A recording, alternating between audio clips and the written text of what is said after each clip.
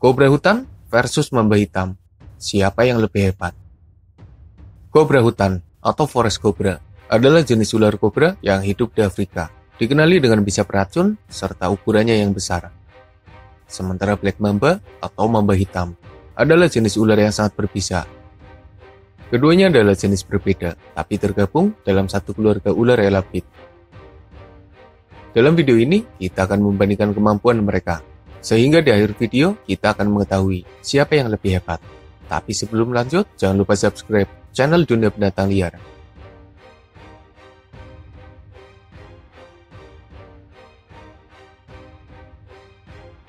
Kobra hutan dianggap sebagai jenis kobra sejati dalam genus Naja dengan ukuran terbesar dan salah satu ular berbisa dengan ukuran besar. Panjang rata-ratanya antara 1,4 hingga 2,2 meter dengan rekor mencapai 3,2 meter sementara beratnya antara 2 hingga 3,6 kg. Sementara mamba hitam juga tidak kalah besar. Mereka adalah jenis ular dengan tubuh yang ramping. Panjang tubuhnya antara 2 hingga 3 meter, dengan rekor mencapai 4,5 meter, membuatnya jadi ular berbisa terpanjang di Afrika. Sementara beratnya hanya di kisaran 1 hingga 2 kg saja. Mamba hitam lebih panjang dari kobra hutan, tapi kobra hutan punya tubuh yang lebih berat. Dari perbandingan ukurannya, kobra hutan masih lebih besar daripada mamba hitam.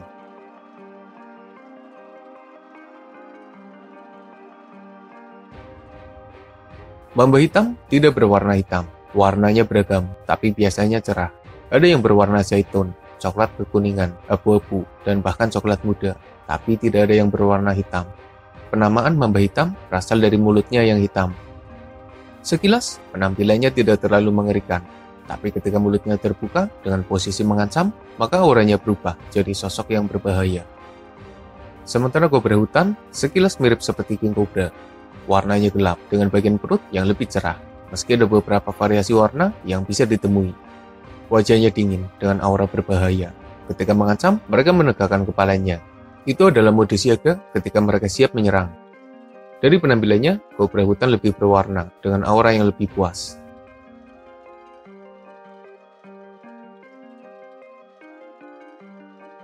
Senjata alami keduanya sama, bisa beracun. Kobra hutan tidak mampu menyemburkan bisa, seperti jenis kobra lainnya. Keduanya akan menyerang dengan gigitan dan berusaha menyuntikkan bisa beracunnya. Dan korban yang terkena serangan itu bisa saja langsung mati dalam waktu singkat. Lalu, siapa yang punya bisa lebih mematikan? Kobra hutan punya bisa yang mematikan, membuatnya masuk dalam lima besar jenis kobra paling berbisa, dan bahkan 10 besar ular paling berbisa menurut laman Asian Animals. Tapi dalam perbandingan kekuatan bisanya, mamba hitam berada di level yang lebih berbahaya daripada kobra hutan. Bisa mamba hitam lebih mematikan, dan serangannya lebih sering terjadi. Bahkan mamba hitam jadi ular berbisa paling ditakuti di sekitar Afrika.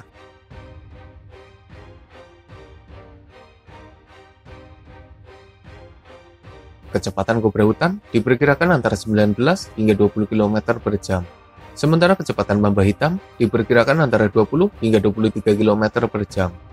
Keduanya bisa bergerak lincah, khususnya ketika mengejar mangsa atau melarikan diri dari bahaya.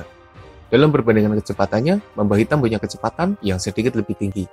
Mereka bahkan dinobatkan sebagai ular darat dengan kecepatan tertinggi. Sepertinya tubuh mereka yang ramping sangat menunjang kecepatannya.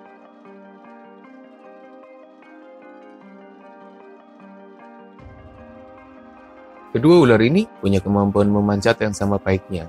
Beberapa kali mereka kedapatan ada di atas pohon. Biasanya mereka memanjat pohon untuk memburu burung kecil atau memakan telur burung yang sedang ditinggal induknya. Mereka bisa memanjat karena kemampuannya dalam merayap, kemampuan luar biasa yang dimiliki oleh hampir semua jenis ular.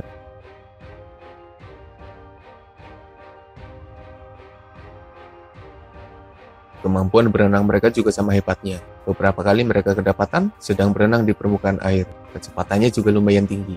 Biasanya mereka berenang ketika menyeberangi perairan, tapi tak jarang mereka juga memasuki air untuk memburu hewan akuatik.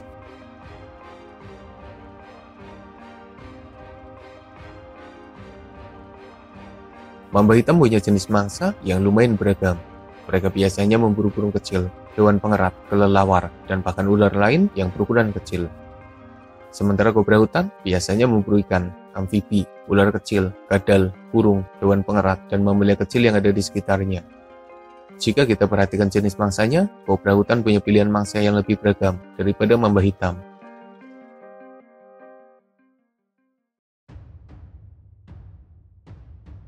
Kobra hutan adalah pemangsa yang biasanya memburu hewan berukuran kecil.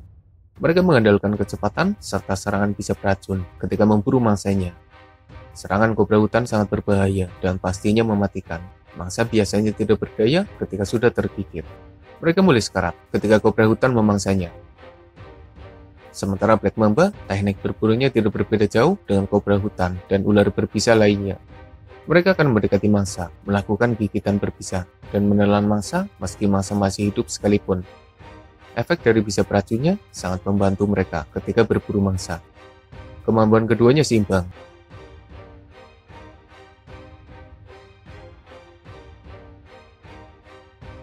Kobra hutan punya satu pemangsa yang paling dihindari, yaitu monggos.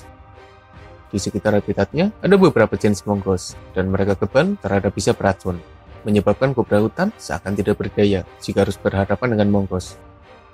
Selain monggos, beberapa pemangsa juga bisa saja jadi bahaya bagi kobra hutan.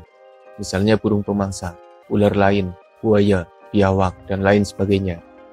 Sementara mamba hitam, musuh utamanya juga sama, yaitu monggos. Bisa beracunnya seakan tidak berguna jika lawannya adalah monggos. Selain monggos, ada pula burung pemangsa, ular lain, honey badger, buaya, radal monitor, dan lain sebagainya. Jika kita perhatikan, keduanya menghadapi musuh yang hampir sama, jadi persaingannya seimbang.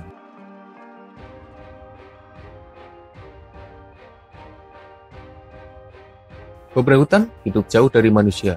Mereka ada di dalam hutan dan biasanya tidak menyukai kehadiran manusia. Mereka lumayan agresif dan pastinya berbahaya. Serangan terhadap manusia jarang terjadi, meski jika mereka menyerang, maka bisa saja menyebabkan masalah serius bagi korbannya. Saat ini, kobra hutan boleh dipelihara, meski sebenarnya sangat berbahaya karena sifatnya yang pemarah. Sementara mamba hitam punya popularitas yang lebih tinggi dari kobra hutan.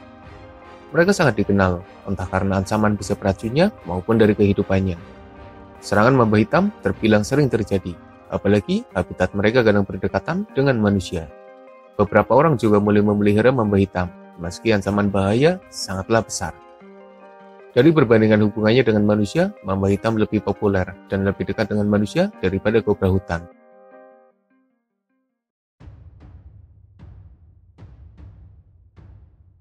Keduanya hidup di habitat yang sebenarnya berbeda, tapi ada potensi pertemuan di antara mereka. Jika keduanya bertemu, maka pertarungan bisa saja terjadi. Mereka akan saling serang, adu kekuatan bisa beracun, dan jika lawannya kalah, maka mereka akan memakannya. Meski buktinya minim, tapi diketahui jika mereka saling memangsa. Admin tidak bisa menemukan pertarungan mereka, tapi dari informasi yang ada, keduanya punya kemampuan yang lumayan seimbang. Masing-masing punya potensi kemenangan yang sama besarnya, tergantung ukuran serta kondisi ketika bertarung.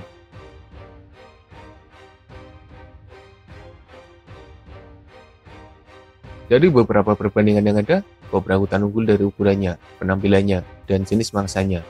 Sementara mamba hitam unggul dari senjata alaminya, kecepatannya, dan hubungan dengan manusia. Jadi hasil akhirnya imbang.